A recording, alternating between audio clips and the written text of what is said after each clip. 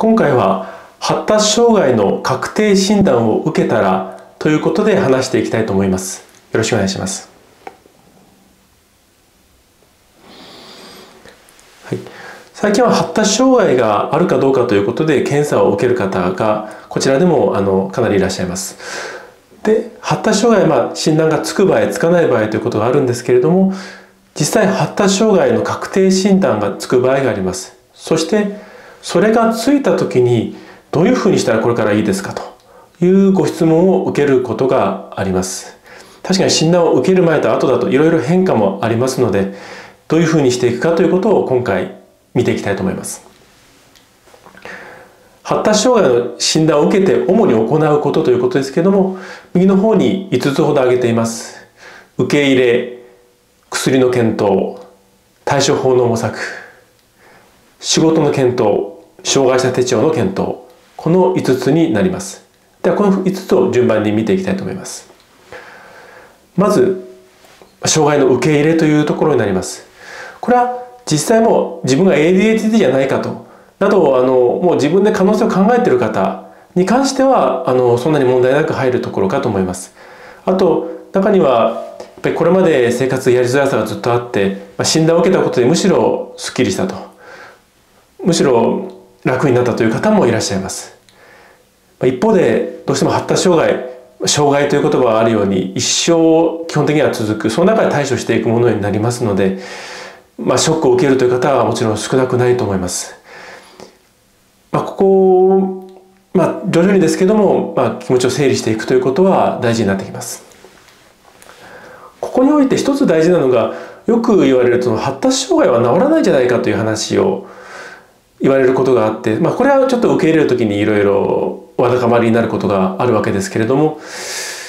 あの治る治らないという枠組みで言ってしまうと確かに障害残りますので治らないということになってしまうんですけれども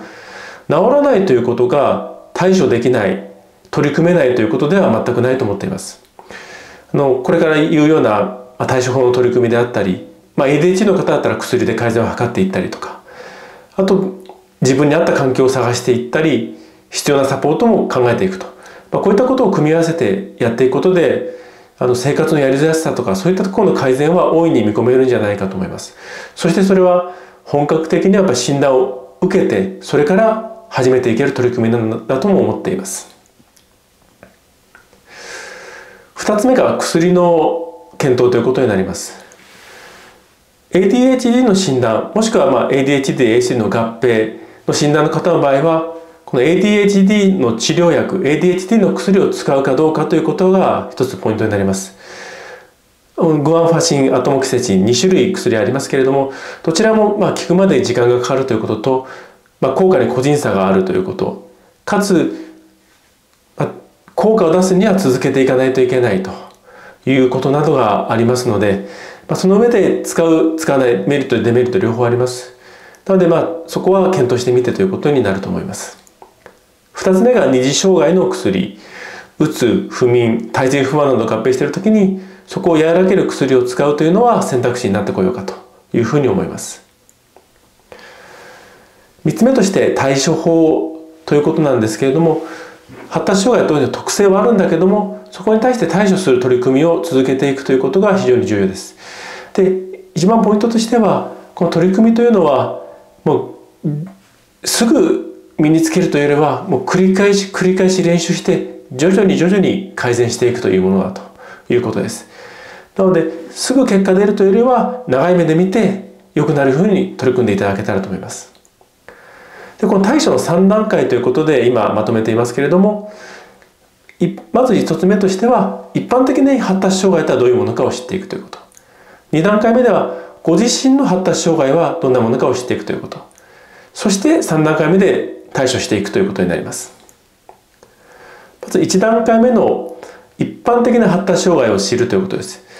ADHD、ASD、まあ、合併している方もいらっしゃいますけれどもそれぞれ、まあ、特徴的な症状があります。でここに関しては最近はもうネットでも本でもだいぶ分かりやすい本も出てきていますし、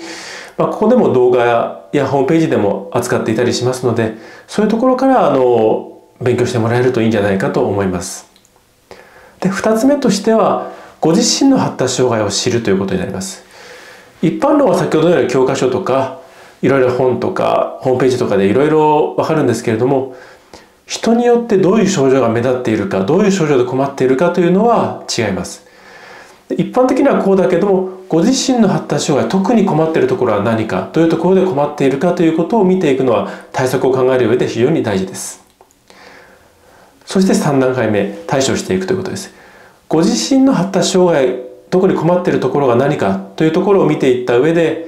優先順位の高いところから一個一個取り組みをしていただけたらと思います。一気に全部改善を図るのは難しいです。優先順位高いものから一個一個繰り返し練習していくと。いうことが大事になると思います。続きまして、まあ、仕事をどうするかということが次になってきます。発達障害の診断があった上で仕事をどうするかということです。まず一つ目としては今の仕事を続けるかそれとも転職をするかということになります。